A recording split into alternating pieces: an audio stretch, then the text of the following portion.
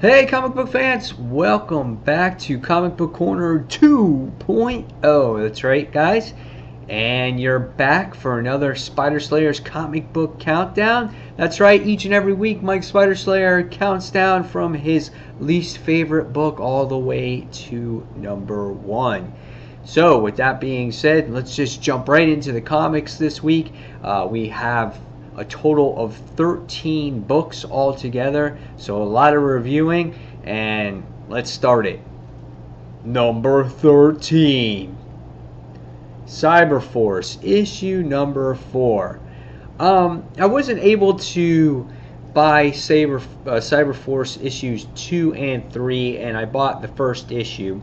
And the first issue, I felt completely lost right from the get go for a new series for people that have not seen in a long time since like the 90s there was a lot of characters that were introduced and i felt overwhelmed as a reader um, the art on the covers have been very tremendous um, this art this cart uh, excuse me this cover art was um, just one of the best that the series had to offer so far. And this was uh, Aphrodite on the cover. Um, I guess she's coming out with a new series as well. But great, great artwork. Uh, Marc Silvestri is the one who writes this actual book, and uh, Khoi Pham is the penciler. Uh, but my favorite part of the book was is that it's the cover, and if it wasn't for free, I probably wouldn't get it. I did read this issue, however, and again, I felt myself just as lost. Uh, the only thing that I knew of was that was going on this story was this guy is Stryker.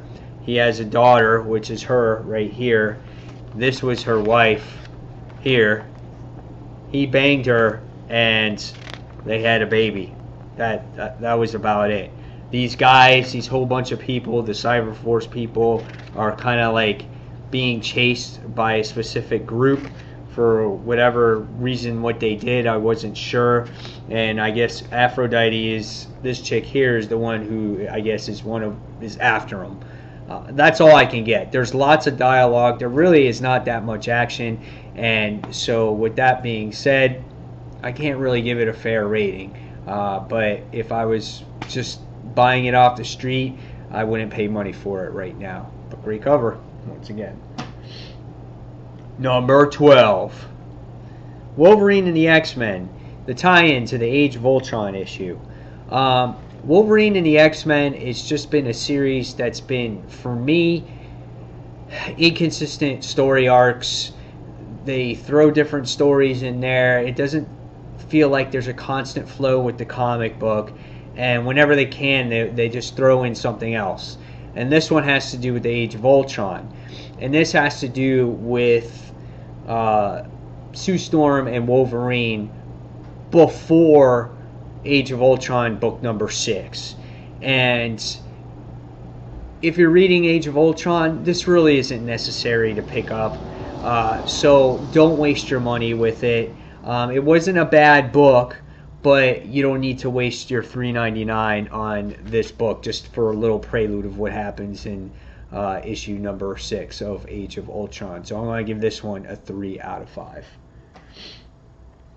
Number 11, Vibe, issue number three. Well, Geoff Johns is officially no longer writing the book. He actually co-written it, co-written it in the previous two issues, um, and the book was really good. This book, however, is okay. I didn't find it amazing. Uh, it still keeps my interest. Here was your gatefold cover for the week. Uh, it did have to do with Kid Flash. And one of the things we get to learn is that Kid Flash is powerful and Vibe is powerful. And if you touch each other, they can destroy the world. That's what you learn pretty much in this issue. And another key part was this uh, person by the name of Gypsy that's been held captive by Amanda Waller somehow escapes. What does she have to play in this whole thing? It's yet to be determined. I'm still waiting to find out what happens with Darkseid's daughter, and that's why I continue to hang on with this. Wasn't bad, just wasn't spectacular. I want to get on. I want to see what happens with that whole Darkseid thing. That thing has got me cliffhanged for a long time, so I'm waiting to see uh, what happens.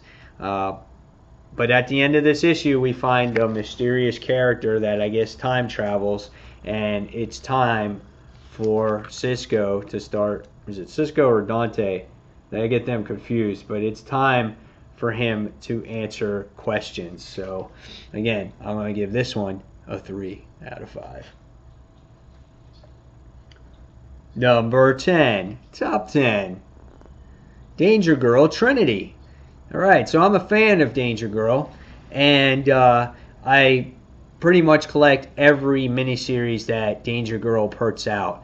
Um, I'm a huge J. Scott Campbell fan. I love the cover art because he does the cover art. So whenever I can get a J. Scott Campbell uh, artwork for a very inexpensive price, I pick it up. But I have read Danger Girl from the beginning when J. Scott Campbell actually drew it, and it's a solid series. Has lots of action, uh, espionage, spy type of uh, book, and it's entertaining. And it's nice that this series is in miniseries and not an ongoing. Just for the fact reason is I don't know if you can make this a continuous series every single week uh, or every single month, and they throw in different story arcs. Like the last one was uh, Danger Girl and GI Joe. The one before that was Army of Darkness and, and Danger Girl, and it does these team ups. Well, this was the first one where the Danger Girl uh, company is doing their own thing this time around, and in this specific issue.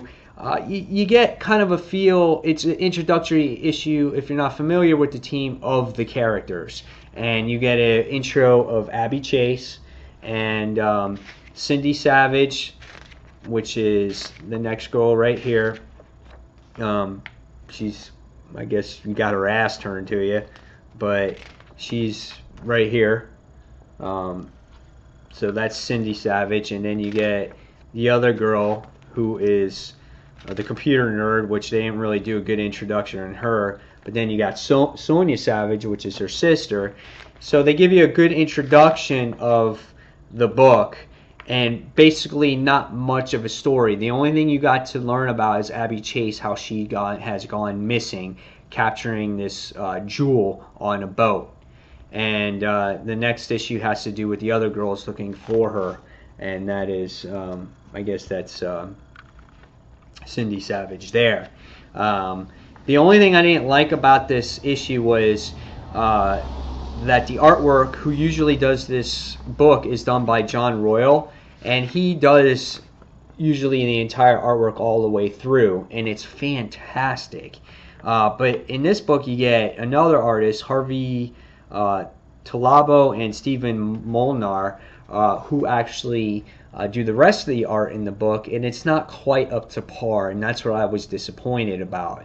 Uh, but nevertheless, it's a decent story. It's a fun read. If you're not looking to dive too into depth of a story, uh, this is something that's visually nice to look at overall. And uh, I give a recommendation for Danger Girl, and I'm going to give this one a three and a half out of five stars. Number nine, Justice League. Who's killing Superman?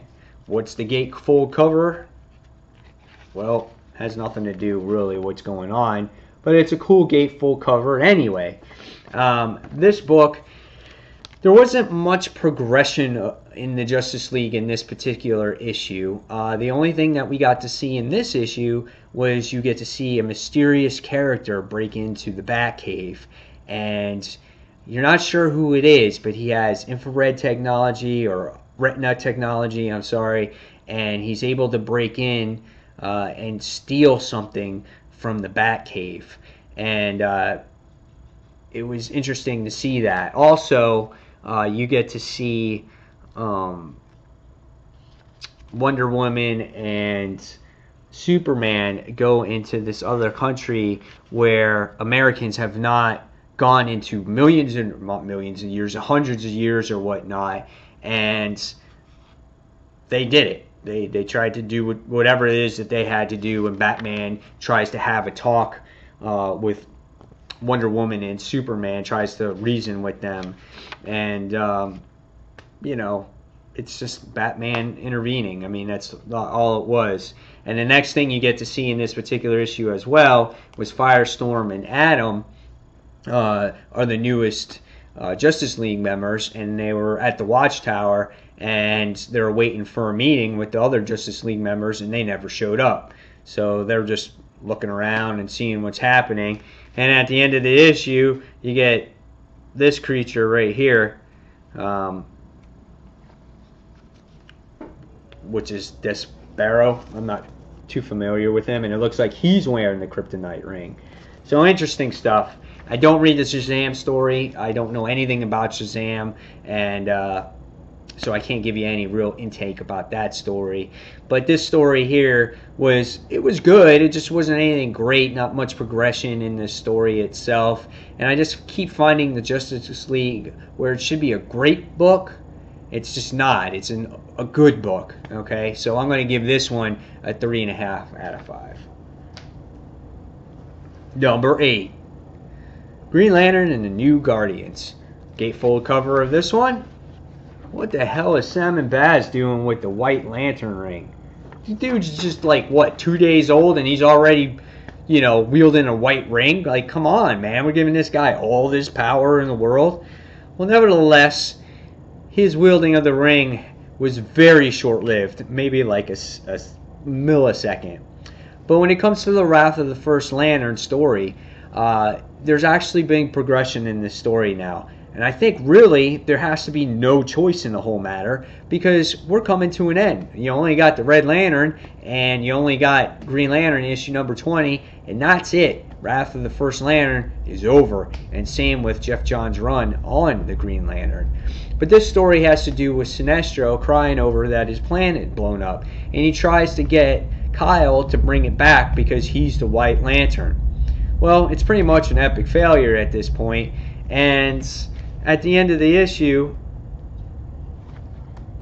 you just see Sinestro fly fly away, and he has his yellow lantern.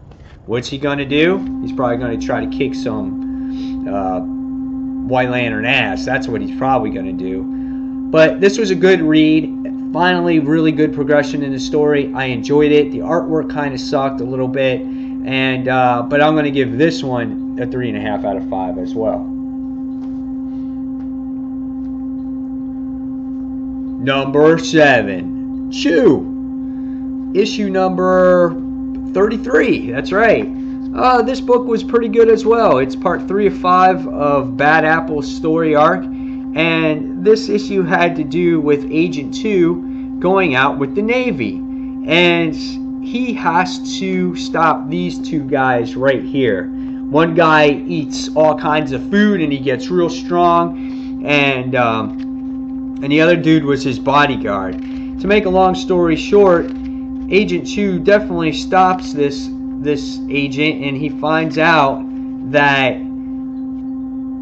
Agent Chu is looking for the person that killed his sister, and his sister, or in the the person that kills his sister is like a vampire that eats all the powers of these cibopaths.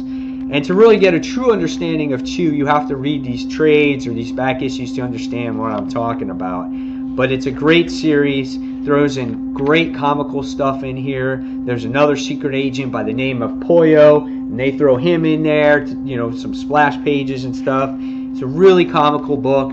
Um, you guys really have to read it to, to truly understand what I'm talking about, but it's a fun, fun read, um, and I'm going to give this one a 4 out of 5. Number 6 Savage Wolverine, issue number 4. Written and drawn by, um, oh, jeez, what's his name? Cho, right? I can't believe I forgot the guy's first name. Frank Cho? Jason, yeah, right? I don't know. Yeah, Frank Cho. I don't know I forgot that. Anyway, Savage Wolverine is one of those books that continues to deliver. as long as Frank Cho is on this book and doing this particular story arc, I don't think there's going to be an issue that is bad. Um, in the last issue, we got to see Shayna, who was actually killed, and she gets resurrected by Man Thing. And it's like pretty badass. She gets into this, you know, you see her, she's dead, and then she's in this goo stuff, this goo, and then she comes out and she's healed. She looks hot, right? Pretty cool. And it goes into this long story about how Wolverine and Shayna came up with this plan that they have to destroy this dampening field in order to escape because no ships can escape. Well, we find out that whatever's in that's controlling this dampening field is also a cell that is holding a mysterious creature. And you're like, oh shit. So Shayna has to run on over there and try to stop Wolverine from destroying this because he's going to unleash this creature. So the next thing you see is you see Wolverine just doing all kinds of freaking battle. He's like stabbing people left and right, like blah blah, you know, kills anybody in his path. He fights some freaking gorillas here, and this warrior chick is like, "Your day is over, Wolverine." And he goes up, he's like, "Yeah, sure, bud." And he goes and he starts slicing some freaking gorilla ass, like King Kong ass. Starts stop stabbing him in the freaking eyeballs and shit. And then it's like he just chops up some fingers of the gorilla. Like you can see that right there. Like, dude, what is up with that? That's crazy. This book is awesome. It's got all kinds of gore. And then he comes up to the to the the damping field, and just as he's about to plant his bomb, Shayna's sweating her ass off, and she starts running on over there. She's like, "Oh, please don't do it, don't do it!" And bam, just throws a spear at Wolverine. After a lengthy discussion, what happens is all of a sudden the Hulk comes out. Where the hell does the Hulk come from? And you're like, "Oh shit, you're gonna do battle with the Hulk now?" I don't know. We'll see. It looks like it happens because if you look at the AR app in this actual thing, they uh, you can see the Wolverine and Hulk staring down each other, looking like they're about to fight each other. Uh, this book is just awesome. Uh, it, it's like not the most in-depth plot, but sometimes you don't need all that to have a fun comic book. Great art, great gore, just a fun read. And I'm going to give this one a 4 out of 5. Paco Medina, by the way, is doing the art when the new uh, when the new series comes out, when the new story arc comes out. I think it's on issue, I think on issue six, and Zeb Wells is the one who writes it. So we'll see if it's as good. Number five, entering the top five. Welcome. Age of Ultron, book number six. This book was really good. It made, for me, it made leaps and bounds for the past couple issues. Past couple issues, our heroes went to Antarctica, to the Savage Land, to kind of group and make some kind of plan. They found Nick Fury in the last issue. And in this particular issue now, Wolverine goes back in the past, and Nick Fury's group goes into the future to try to stop Wolverine. In this issue, you get to see uh, Sue Storm and Wolverine make a tough, tough decision on what they have to do. They see Nick Fury uh, from the past as well. And the only, you know, the one thing in this issue that you get to see with Nick Fury's group that goes in the future is you get to see the future of uh, Ultron, I guess. What you see, I guess, New York in the future once Ultron completely takes over. Besides that, this group has nothing to do really with the issue. They fight a whole bunch of gold Ultron heads once again, you know, which we've seen already, but nothing, you know, nothing fantastic there. Uh, this story really had to do with Sue Storm and Wolverine's uh, confrontation with Hank Pym. And Wolverine's goal is to basically stop Hank Pym from developing Ultron. And what he has to do at the end is the ultimate sacrifice to hopefully change time. And we can see that Storm, is, uh, Sue Storm, is not happy with the decision, but is left with no choice. and that choice is to obviously, now spoiler, to kill Hank Pym.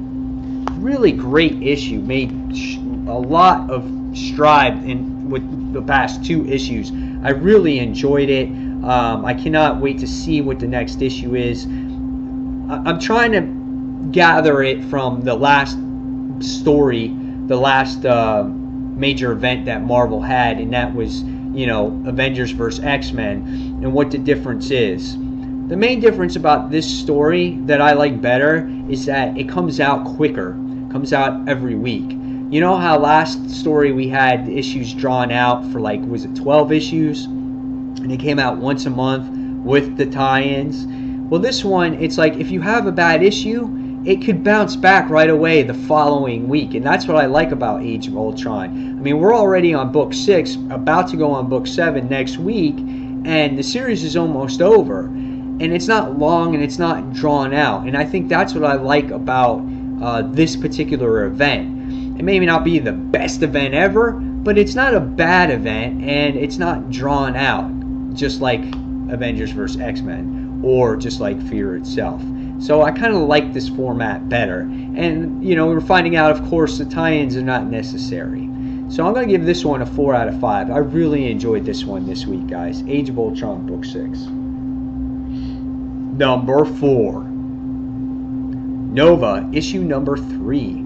That's right. In this particular issue, we get to see Sam uh, meet up with the Watcher, and he sees what's in front of him which is an armada about to take over Earth. And Nova is like, oh shit, what do I do?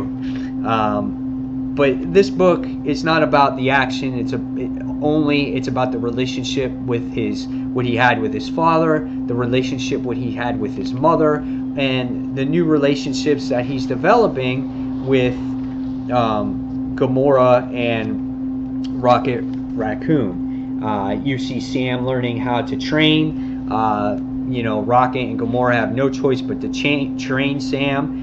And it's a fun read. And in this particular issue, we finally get a lots of dialogue. Where in the past couple issues, we didn't see so much dialogue. We saw a lot of visual, which is okay, uh, but we need some story in between there as well. But by the end of the issue, we find out that Sam comes across the uh, Armada fleet, and he basically gets his ass shot, and uh, it just ends up as to be continued. Um, this book, this book is really really good as well. Um, I said a statement earlier about Paco Medina doing the um, doing the Savage Wolverine title. I was mistaken. He's actually doing this title with Zeb Wells uh, because I know I was really concerned about. Um, uh, uh, Jeph Loeb and Ed McGuinness actually leaving this book and uh, keeping up with the quality. Uh, but hopefully those guys will take it over and are paying close attention to what's going on here. Uh, but I truly love this book, and it, it, was a great book. And I tell you, this made number four on the list, but there were some really good books that just like were almost dead even this week. So I'm going to give this one a four and a half out of five. number three Superior Spider Man, issue number eight. In this particular issue, we get to see lots of stuff that happens here. We get to see Dr. Octopus actually be a good Superior Spider Man for once. He actually does an operation on some young child, which is really, you know, for me, I got that soft spot for the kids, especially a daughter. He does an operation on this young girl who is very thankful because he saved her life and he does the surgery um, with cardiac and he gets this nice little um, stuffed animal which is really cool to see um, you know and he actually has emotion uh, which is nice. I mean that that's what I love the most about it and he gives he keeps that little stuffed animal. Uh, but in the beginning of the issue uh, we deal with superior you know, dealing with the Avengers, and we find out that he's not obviously, you know, they find nothing wrong with him. And Doc Ock finds a problem with himself. He finds a abnormal brain pattern, but the other Avengers are too dumb to figure it out, so they let him go. Carlie Cooper does uh, some investigating, and she tells a mysterious person probably who Superior Spider-Man could actually be. Um, just really awesome stuff. And then you also find out that Superior Spider-Man Otto now knows that Peter is inside his brain trying to take over. So lots of great stuff. It leaves off with a great cliffhanger. And in the next issue, you're going to see the battle between Amazing and Superior. And it looks like Superior is going to cut Peter Parker's memories or whatever from his brain, so he can't be there anymore. But fun issue. Uh, Superior now has made a progression in the series, and uh, I've enjoyed it now. I think now for the past four issues, and it's great again to see Cardiac in the mix of things. So I'm going to give this one a four and a half as well. Number two. Number two and number one were almost like both number ones. They were great issues. Number two, Venom. Issue number 34. Venom has come a long way since the last story arc. We went from poor old Flash Thompson feeling sorry for himself, you know, just doing whatever, to now fighting Toxin, Eddie Brock, some alien freak like creature. And you get to the point where now it's not only one alien freak like creature, but now he has to fight the symbiote slayers. How freaking cool is that, man? When I was reading this, I was like, no way. It's you know, and and it's like you got Toxin doing battle against Venom, and just both their symbiotes just freaking out on each other because they hate each other so much. And then you get the little weird like creature that he comes in out of nowhere, the guy that's always hungry all the time, and Toxin just like, I'm gonna kick your ass. And he sits there and freaking right through his freaking skull or whatever it is, and then he eats his head right off. I mean, he just takes a big chomp right there. My God, this book was just fantastic. In the end of this book, the Venom symbiote takes the toxin, uh, the, or the antidote, or whatever that kind of calms Venom down, and just sits there and stabs Toxin, and it kind of controls that symbiote. So they both went their ways, and like I said, at the end of this issue, you don't know what happened to that bionicle, whatever it is, and it kind of just, it just kind of went into some other bum off the street, and then it just says that it's relaxing and it has to spawn and it has to spread, and you see it go into other creatures or other human hosts, and then it starts to spread. And like I said, you get the symbiote slayers. Man, this book was so freaking oh, really good, guys. I suggest you pick it up now. This is a great story to start reading Venom. Um, I know you can get what issue 33 and 32. I'm sure you can find it on the stands. But if you want Venom, if you want Eddie Brock, you want Toxin, you want some new symbiote slayers, pick up this book right here. Five out of five. Number one, number one, number one, one, one. Daredevil. Man without fear. Woo! Mark Waid, fantastic ass book. Woo! let me just tell you, this book was on the money. When I actually looked at this, I was like, this looks okay. I, I had no idea, no expectation whatsoever. Actually, even this book, like the book's concept is like almost the same. Look, the covers are similar, you know, similar colors, and they almost look the same. And the action inside both books are just as equal it, it was just a ridiculously awesome book. Um, just so well written. The action was so so placed in so many ways. It's just so great to see. Um, you know, when you see Daredevil's senses uh, go into work, it's just a treat visually to see how the character smells and feels and hair and hears. And the issue opens up as Matt Murdock um, just checking on Foggy, you know, at Foggy's side or whatnot. and this was this trap. This kid, you know, said he was, you know, experimented on and had the same problems, just like Matt Murdock. And so he takes the kid, and the kid tells him where to go, and it finds out that it's a trap. He has a pacemaker in him, and the kid is just dead. And you're like, oh shit, the kid's dead, you know, and you're like, fuck. And then all of a sudden, as this comes along, it's set up for him to go into this abandoned warehouse, this open warehouse, and you see the mystery character right here. And you're like, who's this mystery character? He's wearing his dad's uh, uniform and outfit and all kinds of stuff like that uh, from, I guess, when he was a boxer.